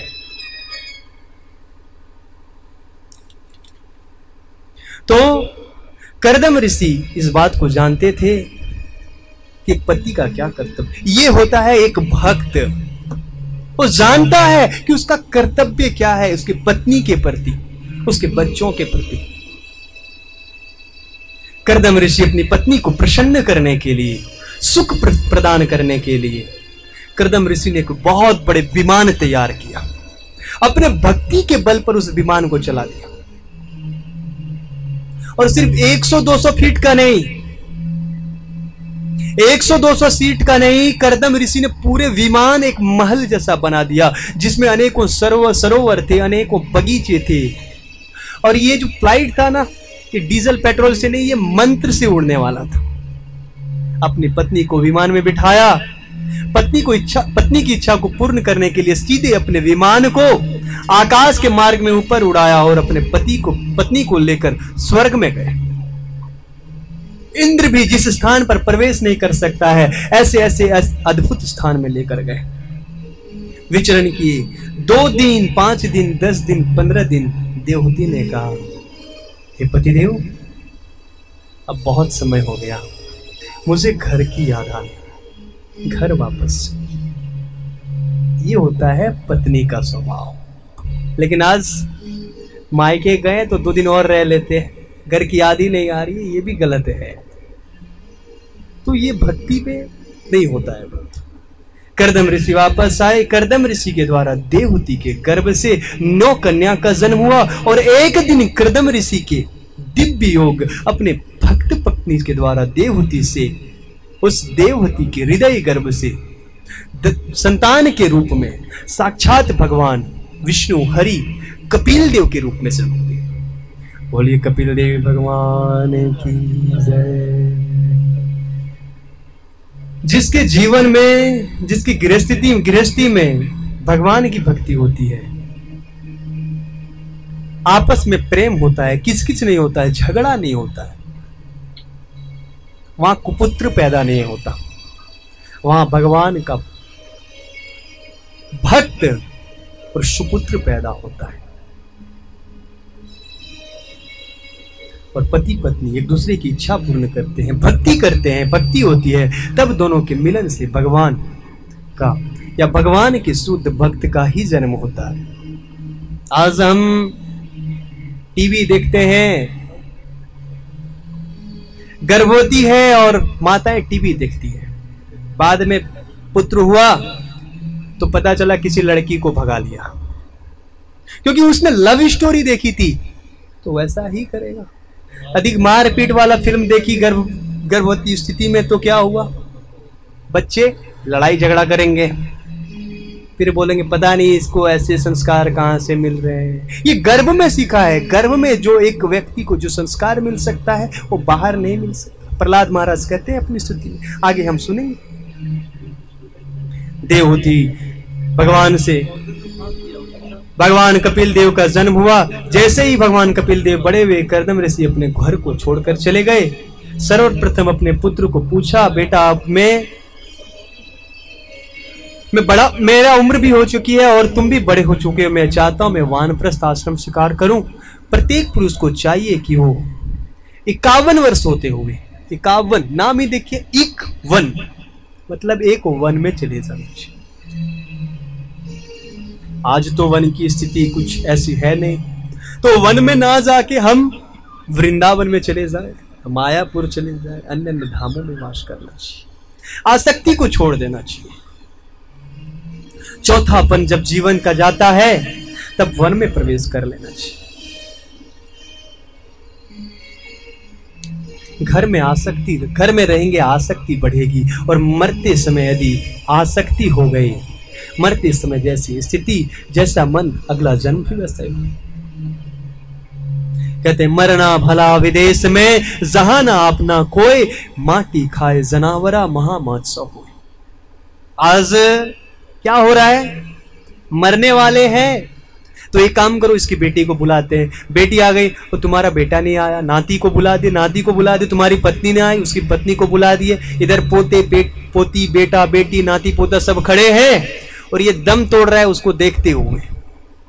अगला जन्म उसके घर में होने वाला है उन्हें।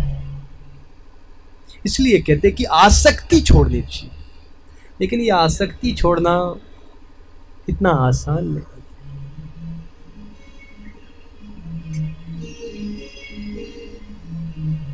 तो एक दिन की बात देवहूति भगवान कपिल देव बड़े हुए। एक दिन की बात माता देवहूति दोनों हाथ जोड़कर अपने पुत्र के पास आई।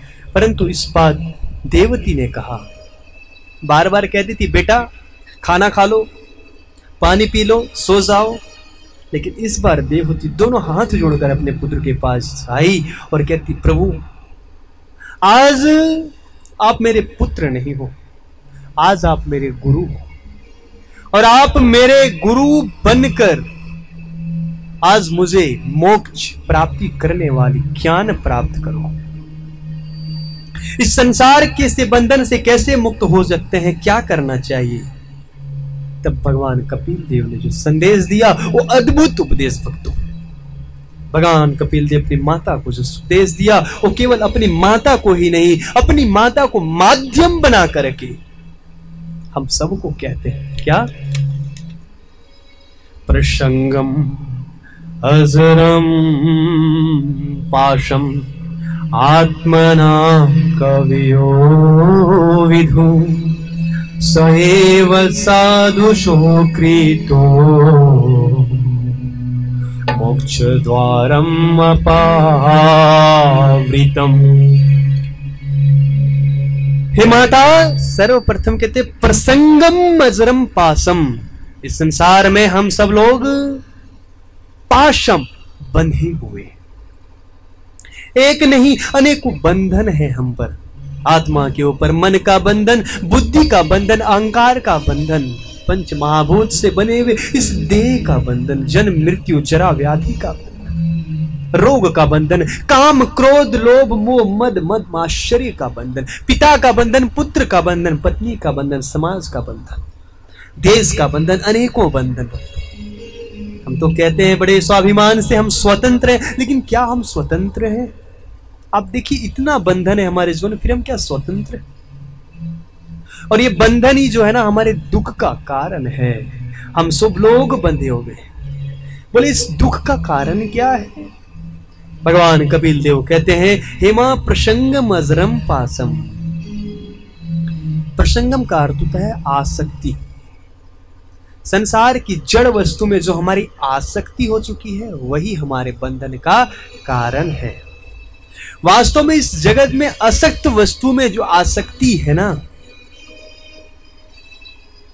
जिनको जिनका नाश निश्चित है ऐसी वस्तु में जो हमारी आसक्ति है, ये गाड़ी, ये बंगला, इन सारी वस्तु में जो हमारी आसक्ति है ना, यही हमारे दुख का कारण है। हमारे इतिहास में एक बहुत बड़े राजा हुए, जिसका नाम था राजा भरतहरि। राजा हरि ने विराग्य शतक में एक अद्भुत श्लोक दिया, भोगान भोक्ता वे भव भोक्ता, तपसान तपता वे भव तपता।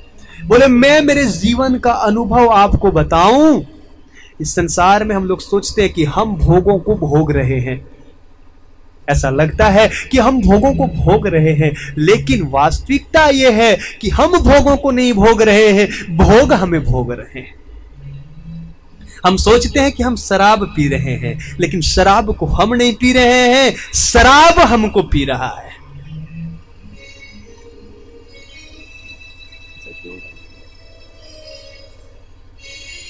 हम सोचते हैं कि हम अफीम खा रहे हैं, लेकिन हम अफीम को नहीं भगतो। अफीम हमको खा रहा है। लेकिन आज के लोग ये नहीं समझ रहे हैं। क्यों? क्योंकि उस वस्तु में आसक्त है। जब तक इस आसक्ति से मुक्त नहीं होगा, तब तक ये विवेक और ज्ञान उत्पन्न नहीं। अतः सर्वप्रथम इस वस्तु की आसक्ति से मुक्त होना। बोले, आसक्ति से मुक्त कैसे हो पाएँगे? अभी हम बोल दिए कि हमारा मोह जो है, हमारे गाड़ी से हट गया तो ये मोह हटेगा? नहीं हटेगा। तो भगवान कपिल देव एक बहुत सुंदर उपाय बता रहे क्या? बोले, प्रसंगम अजरम पासम। ये आसक्ति जो है हमारे लिए बहुत बड़ा कड़ा बंधन है और उससे यदि मुक्त होना है तो उपाय उपाय कहते हैं सएव वही आसक्ति साधु शोक कृतु आसक्ति को नहीं छोड़ना है, लेकिन आज हमारी आसक्ति पत्नी में, बच्चों में, घर में, गाड़ी में, पैसे में, ये जो आसक्ति हमारी लगी हुई है, वहाँ से आसक्ति को हटाकर क्या करना है? साधुओं में लगा देना है। साधु कर मोक्ष द्वारा। ये साधु क्या है? मोक्ष के द्वार है। सएव साधुओं कृतो मोक्ष द्वारम अपावृतम। साधुओं से, संतों से, आसक्ति करने से मोक्ष के द्वार खुल जाते हैं। आसक्ति करो, लेकिन सत्संग से, भगवान से। यदि हम भगवान से आसक्ति करेंगे, खुद ब खुद इधर की जो हमारी आसक्ति है, वो धीरे धीरे छूट जाएगी। तब देवी देवभूति बहुत सुंदर बात कहती है। ठीक है? मुझे ये बात समझ आ रही है कि साधुओं का संग करूँगी, लेकिन इस संसार में कौन साधु है, कैसे, कौन ठग है, ये कैसे पता लगा सकते हैं? ये बात हमारे लिए बड़ा उपयोगी है, क्योंकि आजकल साधु के वेश में ठग घूमते रहते साधु को पहचानना बहुत मुश्किल है, क्योंकि लोग साधु का भेष पहन लेते हैं, लेकिन भगवान कपिल देव ने कहा, साधु वेश धरी साधु न होई। धोती कुर्ता पहन लिए, तिलक लगा लिए, साधु नहीं हुआ। कोई भी सेफ्रॉन गेरुआ पहन लेने से साधु नहीं होता, साधु बना जाता है। गुणों से साधु का गुण होना चाहिए। तब उसे साधु कहते हैं। भगवान कपिल देव कहते हैं, जिस व्यक्ति में, जिस व्यक्ति में साधु के गुण होते हैं, वह सच्चा साधु है और उसी की संगति करनी चाहिए। अन्यथा केवल बनावटी साधुओं की संगति नहीं होनी चाहिए। तब देवी देवती ने कहा, प्रभु, बताइए ना, साधुओं में कौन से गुण होते हैं? तब भगवान देव कह, कपिल देव कहते हैं तितिक्ष्व कारुणी कशु हृदय सर्वदेहिना। अजात सत्व शांत साधवा। साधुभूषण साधुओं में क्या लक्षण होते हैं? साधु में क्या गुण होते हैं? तब भगवान कपिल देव कहते हैं, साधुओं में सबसे बड़ा लक्षण है सहनशील साधु तीक्ष्ण। जो सहन करे वह साधु। थोड़ी थोड़ी बातों में क्रोध आ जाए साधु नहीं है सहनशील होता है साधु। क्या कर, सहन करता है साधु? प्रकृति में जो परिवर्तन है सहन करे। जो ठंड को सहन करे। बोले इसका अर्थ क्या है? बोले हम रोज सुबह ब्रह्म मुहूर्त में उठ जाएँ जग जाएँ भगवान की आरती पूजा करें ये है साधु। ठंड को सहन करे। ठंड में भी उठ के सवेरे सवेरे स्नान करके जो भगवान के मंदिर में आ जाए, वो है साधु। भगवान के जगने से पहले भगवान के मंदिर के पास पहुँच जाए, वो है साधु। थोड़ी सी ठंड बढ़ जाने में या खुद गुफा में घुस जाते हैं, कहते आज तो बहुत ठंड थी, लेट हो गया। ये साधु नहीं। ठंडी को, गर्मी को, वर्षा को प्रकृति का परिवर्तन को जो सहन करे और फिर भी भगवान के नियम में जो बाधा उत्पन्न ना करे, वो है साधु। और इसी के साथ संसार के लोग प्रशंसा करते हैं, मान सम्मान देते हैं, उस मान सम्मान को सहन कर लेना।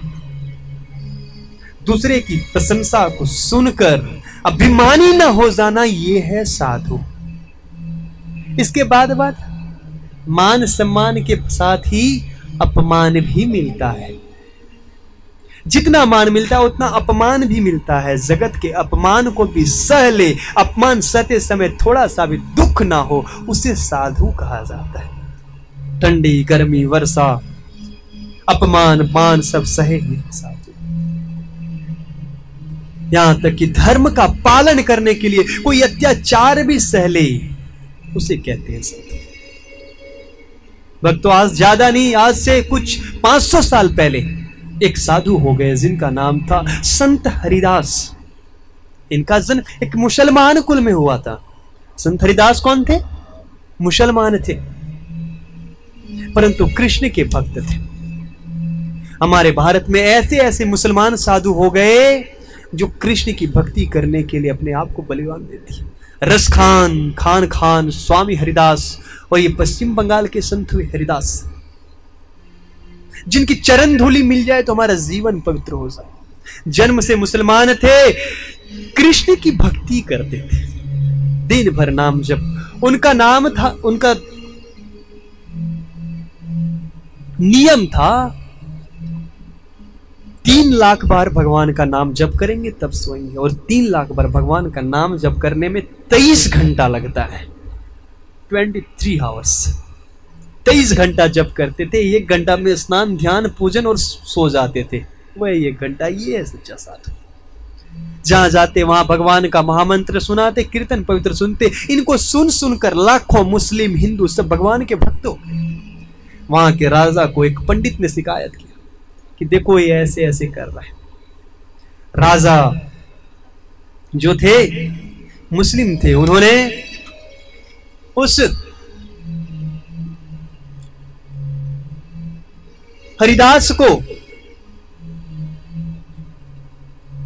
उसकी तपस्या को भंग करने के लिए बाईस बाज़ार में पीटने का आदेश दिया, कोड़े बरसाने का आदेश दिया। मतलब बाईस बाज़ार में जैसे एक देवघर ये बाज़ार है, दुमका ये बाज़ार है, मधुपुर ये बाज़ार है।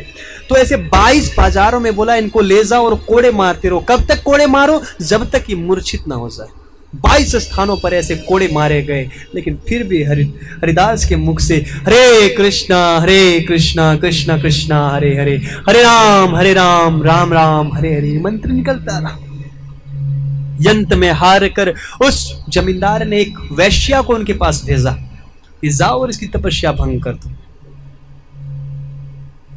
हीराबाई हीराबाई के नाम की वैश्या आई, बहुत सुंदर वैश्या आई, पूरे सज धज कर आई। ये तो जप करने में तेईस घंटा जप करने का लिए सवेरा हुआ, उठे तो बोले, माते, आपको कुछ चाहिए था? क्षमा करना।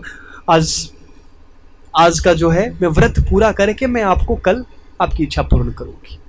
वैश्या गई, दूसरे दिन आई। हरिदास दिन भर, रात भर हरिनाम जब करते रहे। तीसरे दिन वैश्या आई। तीसरे दिन आई, सवेरे हरिदास का जब छूटा। वैश्या चरणों में गिर गई कि, महाराज, मैं आई थी आपकी तपस्या को भंग करने के लिए, लेकिन आज आपने मेरे पाप को भंग कर दिया। आपके मुख से हरिनाम सुनकर मेरी जो पाप थी, वो भंग हो गई। वो आई थी क्या? हीरा बाई बनकर। और जाई थी क्या? गई क्या? हरिनाम बाई बनकर। ये है भक्तों, भगवान श्री कृष्ण की भक्ति में ताकत।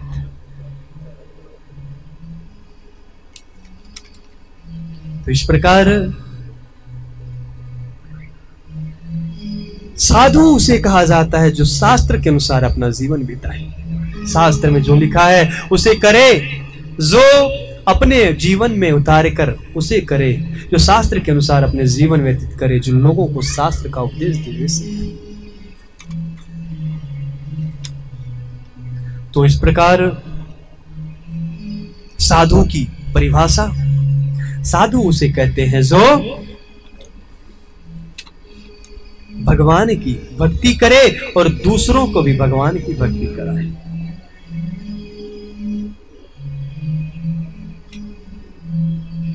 तो इस प्रकार देवी देवती और कपिल देव का संवाद। संवाद बहुत ही बड़ा है भक्तों। बहुत बड़ा संवाद है। इस संवाद के ऊपर एक भागवत सप्ताह की जा सकती है। लेकिन यथामति यथा समय आज की सत्र को हम यहाँ विराम देंगे। कल सब समय से आइए। आज पाँच बजे से यहाँ भागवत क्षमा कीजिए। कीर्तन शुरू हो गया था, थोड़ा सा विलम्ब हुआ, लेकिन अब दो दिन की कथा बची हुई है, कल और परसों। तो थोड़ा हम लोग समय को जो है, ज़्यादा लेंगे, क्योंकि अठारह स्कंद पूरा करने हैं हमें, और अभी हम लोग तीसरे, चौथे स्कंद में ही हैं। तो थोड़ा समय आप लोग दीजिए, आइए, थोड़ा जल्दी आइए। अब जितने जल्दी आएँगे, कथा उतना जल्दी प्रारंभ होगा। आज की कथा को हम यहाँ विराम देंगे। ग्रंथराज श्रीमद भागवत महापुराण की जय। श्री राधा माधव की, श्री महाप्रभु की, श्री प्रपाद की निताय गौ प्रेमानंदे हरि हरि। तो आप सबों का बहुत बहुत धन्यवाद जो आप आ रहे हैं। अगले सूत्र में बहुत सुंदर प्रहलाद महाराज की कथा आप लोग आइए और प्रहलाद महाराज की कथा को सुनिए, हिरण्यकश्यपु का प्राकट्य बहुत सुंदर और उसके अगले दिन भगवान श्री कृष्ण का जन्म उत्सव। अच्छे से हमें जन्म, हम ये जन्म उत्सव बनाएँगे नए नए वस्त्र नए नए आभूषण पहन के आएँगे। और क्या करेंगे? उसके साथ साथ हमें कुछ करना चाहिए भगवान के लिए। क्या करेंगे भगवान के लिए? हम क्या कर सकते भगवान के लिए? भगवान के लिए कुछ भी नहीं कर सकते, चुप हो गए क्या कर सकते हैं?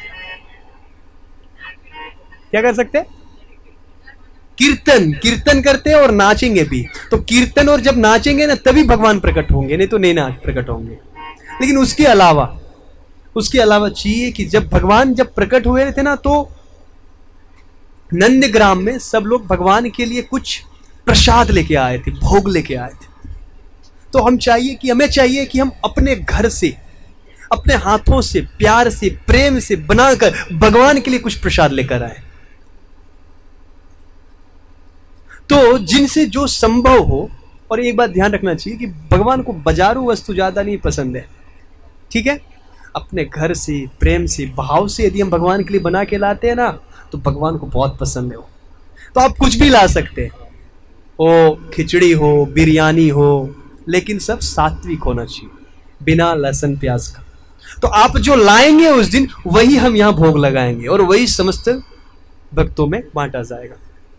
वो छप्पन हो, छप्पन टाइप का हो गया तो छप्पन भोग 108 हो गया तो 108 भोग हो जाएगा भगवान का। जितने लोग आते हैं, सब लोग कुछ ना कुछ भगवान के लिए लेके आएँगे, कोई भुजिया, चटनी, जो भी मन करे, लेकिन सब शुद्ध लेके आएँगे, अच्छे बर्तन में। ठीक है? जो आपको पसंद लगता है वो हमें भगवान को खिलाना चाहिए। हमें जो अच्छा लगता है वो भगवान के लिए। तो जो हमें अच्छा लगता है वो हम लेके आएँगे। ठीक है? तो अंतिम दिन। कृष्ण जन्मोत्सव मनाएँगे। प्रभु जी थोड़ा बलून वगैरह लगा के इसको सजा दिया जाए। आनंद हाँ। लाल की। तो ऐसा हम लोग करेंगे तो सजा दिया जाएगा। बहुत सुंदर माहौल लगेगा नृत्य होगा।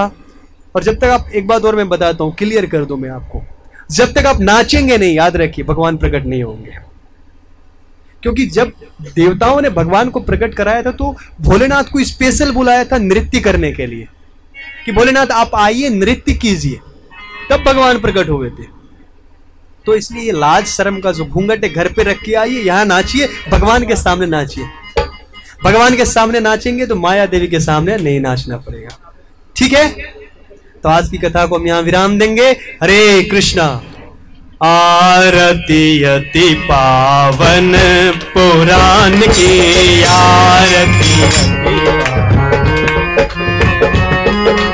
आरती अति पावन पुराण की।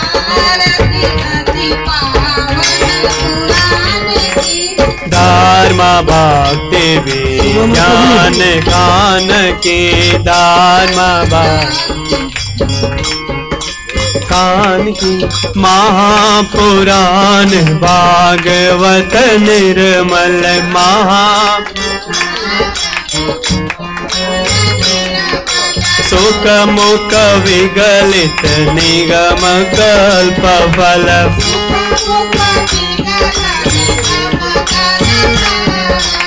धर्मानंद सुधार समय फल।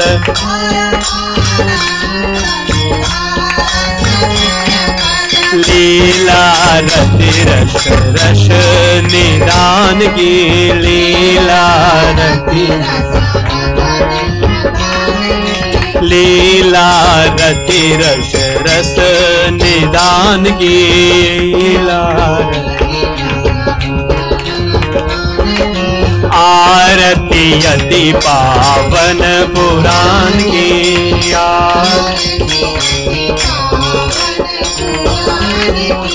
कलिमल मत निताप निवारिणी कलि जन्म मृत्यु भय भव भय हारिणी जन्म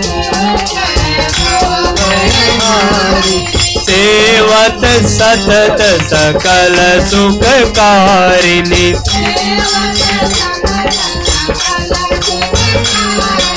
सुमहो सदी हरि चरित गान की।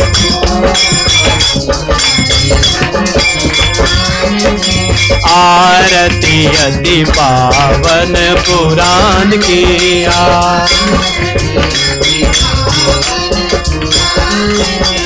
विषय विलास विमोह विनाशिनी।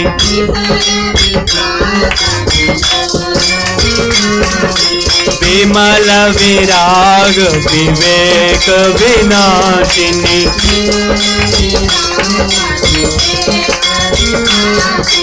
भागवत चात्वराश प्रकाशिनी।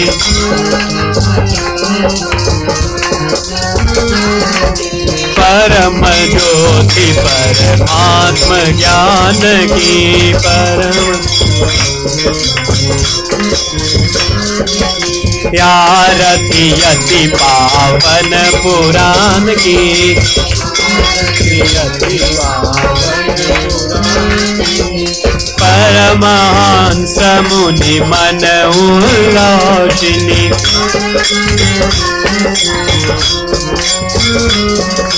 रसिक दय रस रास विलासिनी।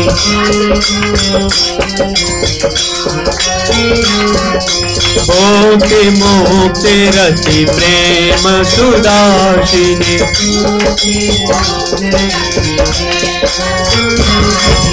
कथा किंचन प्रिय सुजान की।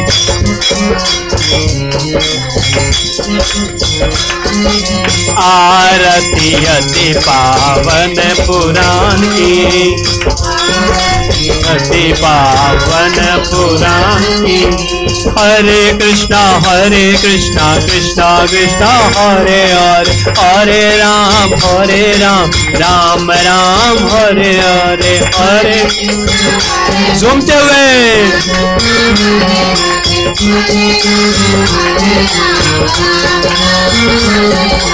हरे कृष्णा।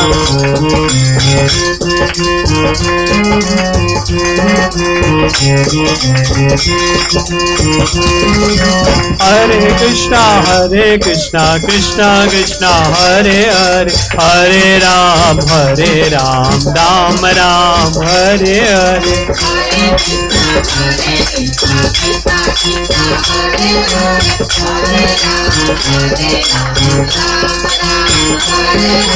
हरे कृष्णा हरे कृष्णा कृष्णा कृष्णा, हरे हरे। हरे राम हरे राम राम राम, हरे हरे। झूमते हुए, नाचते हुए, हरि बोल।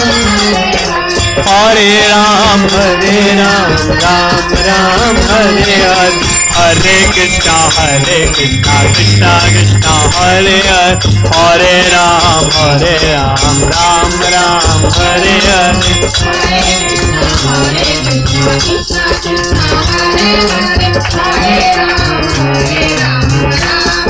हरे कृष्णा हरे कृष्णा कृष्णा कृष्णा, हरे हरे हरे रामा हरे रामा, राम राम, हरे हरे हरे कृष्ण। नाचो हरि बोल डांस करना है।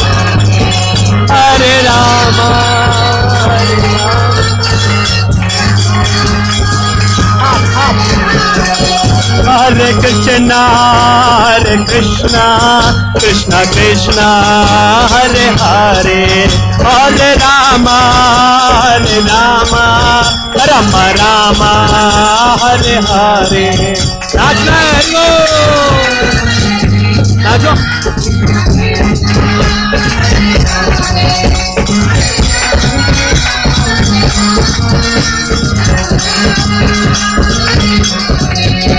हरे कृष्णा हरे कृष्णा, कृष्ण कृष्णा, हरे हरे हरे रामा हरे रामा, राम राम, हरे हरे।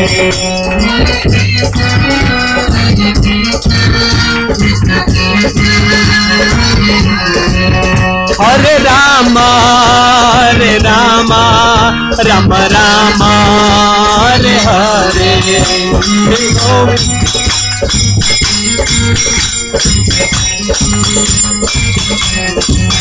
हरे रामा हरे जय राधा माधव राधा माधव राधे जय। माधव राधा माधव राधे जय। कृष्ण बलराम, जय। कृष्ण बलराम कृष्ण बलराम, जय। कृष्ण बलराम।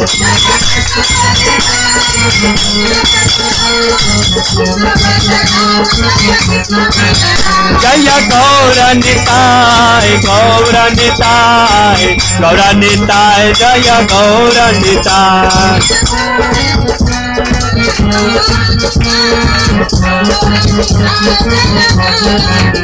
जय जय प्रभुपा प्रभुपा प्रभुपा जय जय प्रभुपा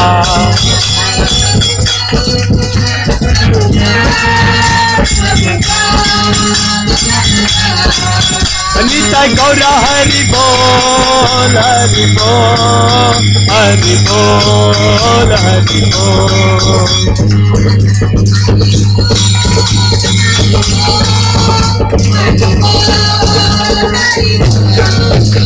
योग धर्मराज हरिनाम संकीर्तन की।